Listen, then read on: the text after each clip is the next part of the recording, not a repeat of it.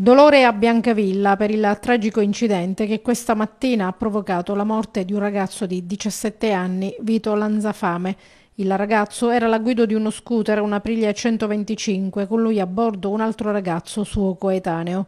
I due giovani stavano andando a scuola ad Adrano quando, per cause ancora in corso d'accertamento, sono finiti fuori strada. Per Vito Lanzafame non c'è stato nulla da fare, il ragazzo è morto dopo l'impatto con il suolo. Gravi le condizioni dell'altro giovane, anche lui di Biancavilla, portato con l'elisoccorso al Cannizzaro di Catania. Avrebbe compiuto 18 anni tra pochi giorni Vito. La sua morte lascia una città nello sconforto.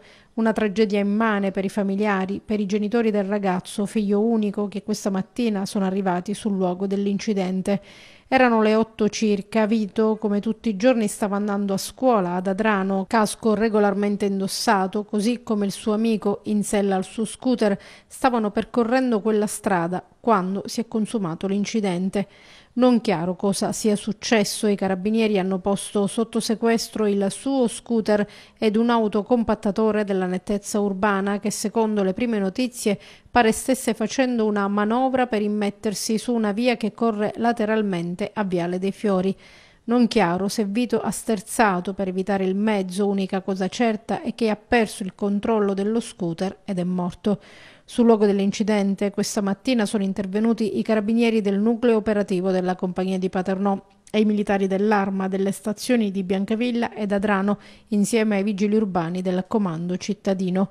Per permettere i rilievi affidati alla Polizia Municipale la strada è rimasta percorribile a senso unico alternato. Per l'indagine penale, nell'accertamento di eventuali responsabilità, stanno invece indagando i carabinieri. La salma di Vito Lanzafame è stata consegnata ai familiari. Un ragazzo dal volto pulito, quello di Vito, di lui, questa mattina su Facebook a lasciare un ricordo l'oratorio Don Pino Puglisi di Biancavilla, del quale Vito faceva parte e all'interno del quale aveva vissuto momenti di gioia e di fraterna amicizia.